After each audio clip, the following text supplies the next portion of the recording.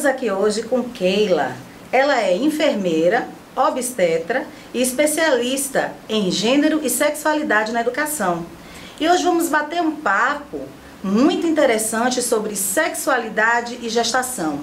Vamos falar sobre os tabus que acometem essa temática e que muita gente tem interesse em saber, mas poucos têm a coragem de perguntar. Keila, sexualidade e gestação, qual é a relação? Olá, olá Cíntia, olá, olá Lília, muito obrigada em primeiro lugar pelo convite. E aí sobre essa pergunta, sexualidade é, e gestação. Primeiro eu queria dizer a vocês, telespectadores, que quando a gente fala sobre sexualidade, a gente não está se referindo somente ao ato sexual. Então a gente precisa entender que esse termozinho sexualidade é uma condição humana, né? É um processo que nos envolve desde a infância e que a gente vai construindo ao longo da nossa vida. Então, quando a gente fala em sexualidade, a gente está falando do conhecimento do nosso corpo, quando a gente fala em sexualidade, a gente está falando do conhecimento dos órgãos genitais, né, masculinos e femininos. A gente está falando também de como a gente se percebe enquanto identidade de gênero e orientação sexual. Falar de sexualidade é falar da nossa intimidade, é falar daquela química gostosa quando você vê aquele gatinho, aquela gatinha, o coração acelera. Então, falar de sexualidade é muito amplo, Lilia. E quando a gente chega para a gestação, entendendo, Cíntia, que a gestação faz parte do ciclo vital né, dessa mulher, que faz parte do ciclo sexual dessa mulher, que a gestação é um processo de transição, né? E que transição é essa? De uma mudança de vida. Você sai de um período para o outro, deixa de ser mulher, filha, para ser agora mulher, filha e mãe, né?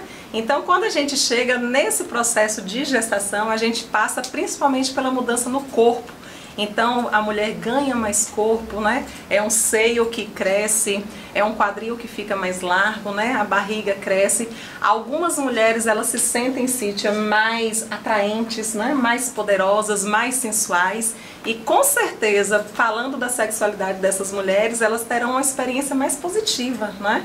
No entanto, algumas outras mulheres não se sentem tão bem com essa mudança do corpo e acaba é, tendo a percepção de como se estivesse perdendo a identidade corpórea, né? mudança corporal, não se sente no seu corpo e aí provavelmente pode ser que influencie na sexualidade dela, porque aí pode baixar a autoestima né, dessa mulher e aí ela não ter vontade nenhuma, né, sobre a questão sexual, não ter vontade de, não, não se sente atraente, né, e aí não tem vontade para essa questão do sexo. Então a gestação ela influencia na libido feminina.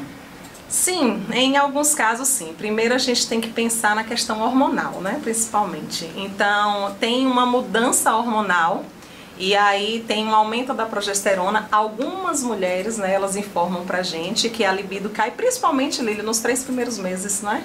Que é aquele Sim. processo de adaptação hormonal. Também algumas mulheres sentem alguns enjoos. E aí eu te pergunto, quem é que enjoada nesse processo hormonal, né? Tudo novo na vida, vai ter esse desejo, né, sexual em si. Então interfere um pouquinho sim na libido. Agora, outras já dizem que não. Então, aquelas que seguem uma gestação, né, digamos assim, saudável, elas já se sentem é, melhor sexualmente falando. Keila, quando Sim. você vê os relatos, os mitos em relação ao sexo durante a gestação, porque você sabe que existem muitos, né? Então, Cíntia, sobre essas questões de mito, né, do sexo na, na, gestação, nossa, são variados, tá? E aí, tanto eu tenho relatos de homens quanto de mulheres. Então, tem aquelas mulheres que falam assim, chegam no consultório, às vezes falam, nossa, Keila, não sei o que eu faço mais, que meu marido disse que não quer ter relação sexual comigo, porque vai machucar o bebê. E aí, Cintia, eu gostaria de convidar os homens, inclusive, né, que estiver nos assistindo aqui, bora lá dar uma estudadinha na anatomia da mulher, olha o brinquedinho lá no parque não vai entrar no útero. Então a gente precisa saber onde é que a gente está brincando. Então não se preocupe, porque não vai furar a cabeça do bebê. Fiquem tranquilos em relação a isso, tá? Da gestação ao parto.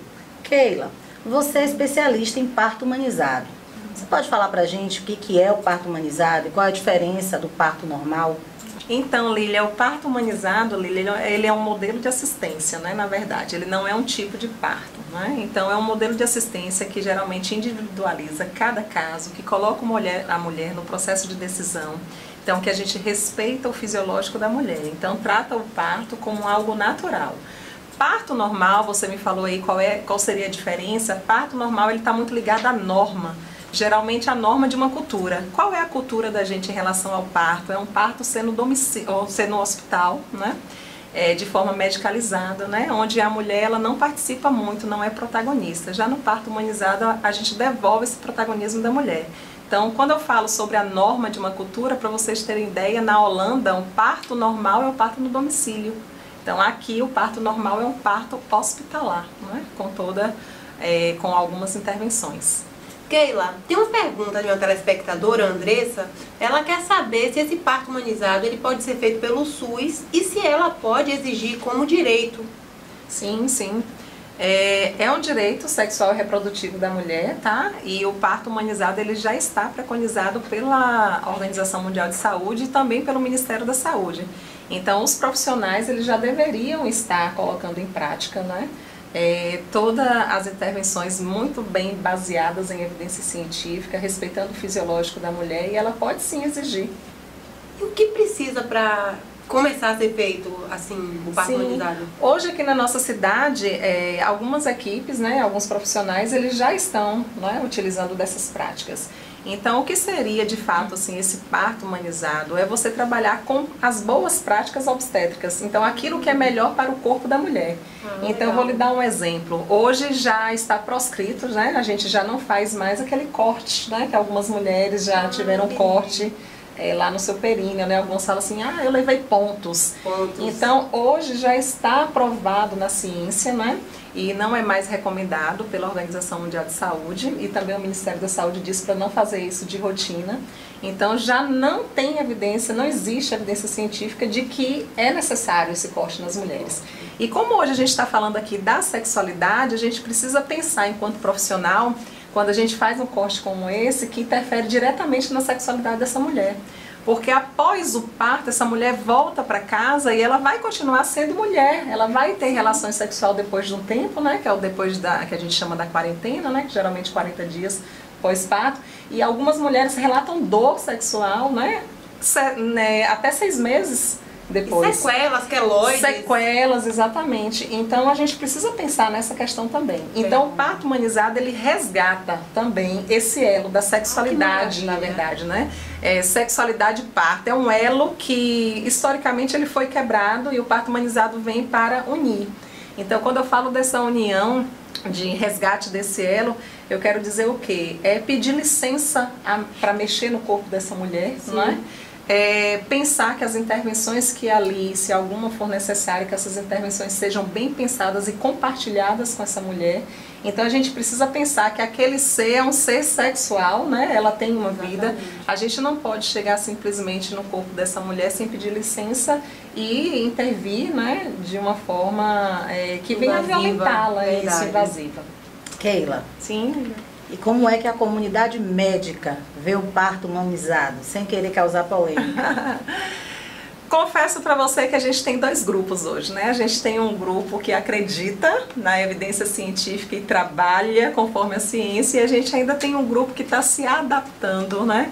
Está ainda sem acreditar muito nisso, mas eu confesso a você que as mulheres estão vencendo, de pouquinho a pouquinho a gente está plantando a sementinha.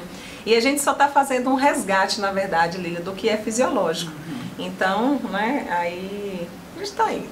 Como você abordou a questão da quarentena, uhum. definitivamente, Keila, o sexo é proibido na quarentena, na... logo após a mulher ter o Logo bebê. após ter o bebê, né? Não. Sexo, não, assim. A quarentena são 40 dias para que a mulher fique em um momento que o corpo dela está voltando ao normal. Então, dizer é importante essa mulher, né? É, fica ali esses 40 dias em repouso. A gente não fala, eu não gosto de dizer se recuperando. assim. É, se recuperando. Eu não gosto de dizer assim, é proibido. Sim. Porque quem vai dizer se o corpo está pronto ou não é a mulher. Você concorda Verdade. comigo? Sim. Então, se ela se sente bem, se ela está com vontade né, no processo, então, de, independente, ela é que vai dizer. Agora, se eu for para a literatura, então o que, que a literatura nos diz? Para a gente esperar um resguardo, porque tem um risco ali de uma inflamação, né? tem um risco de uma infecção, e se for uma cesariana, tem alguns riscos também por conta da cirurgia que está muito é, recente. uma internauta, ela trouxe uma pergunta interessante para nós a partir do próprio relato pessoal. Ela disse que após engravidar e ter o bebê, ela ficou quase que completamente sem ter desejo sexual pelo seu marido. E aí, com isso, ela ficou um ano sem ter relações sexuais, o, que levou praticamente a uma separação. Keila, isso é comum as mulheres terem essa falta de apetite sexual logo depois, né? E no transcurso, quando o bebê é pequeno. Observe, não é comum, tá? Assim, a falta de libido pós-parto, fisiologicamente falando, acontece porque tem uma queda, né, dos hormônios e tem uma alta do hormônio na prolactina, né? Então, baixa um pouco do libido. E aí a gente precisa somar outras questões a questão do cuidado com o bebê, a questão da privação de sono, que deixa essa mulher mais cansada e aí ela não tem cabeça para pensar em sexo, claro. Uhum. Agora, Lília, hoje a gente, hoje eu já estou trabalhando com isso, né? E também dentro do SUS, os maridos podem participar, tá? E aí, quando a gente fala dos maridos, companheiros ou companheiras participar desse processo, né, no pós-parto, a gente está falando de uma paternidade ativa. E aí você vem com o relato da sua é, da, tele, da internauta aí, e eu já trago um outro relato em que uma, uma mulher disse assim, Keila, fiquei 60 dias sem ter relações sexuais com meu marido, mas ele também não quis. Por quê? Porque ele estava ativamente no cuidado com o bebê. Sim. Então, quando tem essa relação né, do, do homem com a mulher, ou do companheiro a companheira, é, essa relação mais afim, né, uma afinidade maior, digamos que a libido vai diminuir para os dois por conta de todo o processo, não só hormonal da mulher, mas todo o processo de cuidado com esse bebê, né? Principalmente a privação do sono, que para quem aí já tem que tá com bebê novinho sabe que a gente acorda de duas em duas horas à noite, então que cabeça que a gente vai ter no outro dia, que disposição você terá no outro dia para uma relação sexual.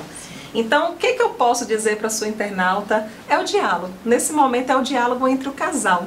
Né? Em que momento se perderam ali? Então, esse diálogo eu preciso ter levar em consideração as questões primeiro fisiológicas, né, hormonais, e aí ela pode pedir ajuda e tal. Tem mulheres que pela baixa de hormônio na primeira relação sexual sente dor, porque a lubrificação da vagina ela também diminui. Então a gente precisa também ir para um profissional para adequar isso, né? E aí tentar ajudar esse casal. Então é diálogo, né? Primeiramente, é procurar uma ajuda médica para ver se essa lubrificação como é que tá, né? Se essa questão da baixa hormonal se está muito exagerada e, enfim, continuar a vida. Keila, outro internauta acabou de perguntar aqui se é normal sentir dor durante o ato sexual na gestação. Sim, algumas mulheres elas de fato referem, né? E aí a gente tem que pensar no seguinte: primeiro, se existe alguma contraindicação médica, né, para essa relação sexual, se ela está tendo algum tipo de sangramento, então é importante avaliar. É, uma outra coisinha, é importante avaliar também a lubrificação. E assim, assim, algumas mulheres falam de dor na relação sexual, a gente tem que entender também algo, né? Sabe que tem que ter aquelas preliminares, né? Então as preliminares são importantes, né? Então o homem aí, a mulher, ele precisa também saber, né? Estar ciente disso. E aí essas preliminares é que vão fazer é, a vagina se lubrificar mais, né? Então diminui a dor em relação a isso. Uma outra coisa que elas falam sobre a questão de dor é a barriga que incomoda, né? Então às vezes a posição então, é, quando estamos grávidos, não é toda posição que vai se adequar. Então, o casal tem que ter ali aquele diálogo em abertura, né? O sexo uhum. livre, para dizer, ó, nessa posição não tá legal porque a barriga tá atrapalhando. Então, isso é importante. Verdade. Então, para essa internauta, a minha dica seria essa, né? Converse, veja de onde está vindo de fato essa dor. Será que é alguma posição que está incomodando, né? Porque a barriga atrapalha. Então, tudo isso. Pessoal, vamos para o nosso quadro agora, Mito ou Verdade, em que a nossa especialista Keila vai responder para nós algumas questões referentes ao tema, dizendo para nós, mito ou verdade. No pós-parto, a mulher pode engravidar. Verdade. Mesmo que você esteja em amamentação exclusiva, é possível sim ovular e engravidar. Então não vacile. Tome seu contraceptivo. No pós-parto, Keila, pode lavar o cabelo. Verdade, pode sim. Essa questão de dizer que não pode lavar o cabelo vem de uma história bem antiga em que dizia que se lavasse o cabelo, o sangue saía de baixo para cima. Isso é mito. Pode continuar assim com a higienização de vocês, viu, mulheres? Mulher grávida não tem orgasmo. Como não? Claro que sim. Ela tem sim. Isso é um mito, tá? A mulher grávida tem orgasmo sim. Basta pensar, não é? Antes ela engravidou, provavelmente teve um orgasmo. No pós-parto, é, não pode praticar atividade física. Mito, no pós-parto pode sim. O que, que a gente diz? Após 15 dias do parto normal, você vai poder fazer atividades físicas leves, como a caminhada, um yoga, um alongamento. E se for um parto cesáreo, aí você espera aí uns 30 dias, mas pode sim fazer. Uma grande preocupação das mulheres: amamentar favorece a queda das mamas. Mito. Amamentar não favorece queda das mamas. O que favorece queda das mamas é a questão genética. Então, amamentando ou não, mulheres podem ter mamas flácidas. A relação é contraindicada se houver risco de aborto. Verdade. Se houver risco de aborto, sangramentos, dor excessiva, está contraindicada a relação sexual. Amamentar ajuda a mulher a emagrecer. Hum, verdade. O processo de amamentação é, requer um aporte calórico né, maior, então perde-se mais. Finalizamos aqui o nosso quadro Mito ou Verdade. Nós estamos chegando ao final do nosso programa e queremos agradecer a gentileza da enfermeira Keila Marques estar neste programa tratando sobre esse assunto tão polêmico, sexualidade, gestação e parto. E quero que você deixe suas considerações finais. Desde já quero te agradecer também e dizer que está sempre bem-vindo ao nosso programa. Cíntia, Lília, muito obrigada, tá, pelo convite. Foi muito bom compartilhar um pouquinho do conhecimento com vocês. Estarei sempre à disposição e até a próxima. Esse bate-papo sobre gestação, sexualidade e pós-parto foi muito bom. Até a semana que vem. Foi um prazer estar com vocês.